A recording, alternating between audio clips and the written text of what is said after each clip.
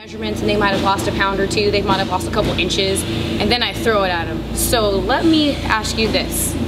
What happens when you go when you go from doing something halfway and then go all in?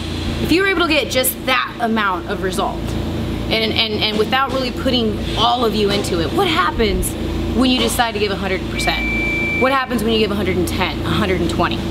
What happens when you're able to do that over a long period of time? that's what gets me excited. You know, that's what pushes me. It's that possibility of being able to achieve something I've never been able to do before. That's what gets me excited and out of the bed at 4 a.m. That's what keeps me going all day until I get home at 9.30 at night. It's that, that will to grind and that grind that takes you over the top. That's what separates you from the good to great. It's that small little X factor. That X factor of how many days of consistency can I put together? How many days can I constantly push myself? How many days where I wanted to give up, but I didn't? You know, those are the days that I keep track of. I don't keep track of how many days I train, because that's supposed to be a given. I keep track of the days that I wanted to give up, that I didn't want to get up and go and do that cardio, that I, I didn't think that I had it in me, and I did it. Those are the marks I tally. Because when I see all those marks, that, that's what gives me the confidence to keep pushing and keep grinding.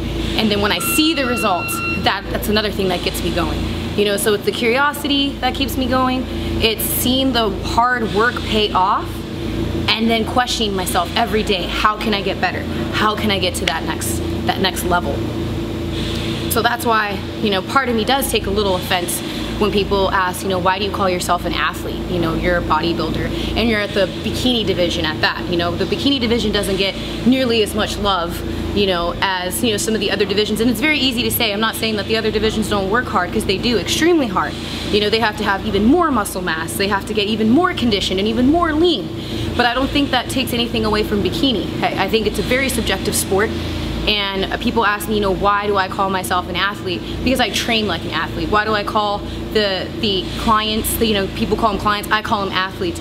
You know, why do I call my athletes athletes? Because I train them like athletes. We do track workouts, we do speed, agility, and quickness training. We do the same type of training as a basketball player, as a football player, as a soccer player. You know, I am a product of all the sports I've done in my life. I've done track and field, I've done cross country, soccer, volleyball, basketball. You know, I played at the D1 level. So I'm a product of everything in my past. I've been a sponge. I've taken all the best training techniques from all the different trainers I've worked with, all the different strength and conditioning coaches.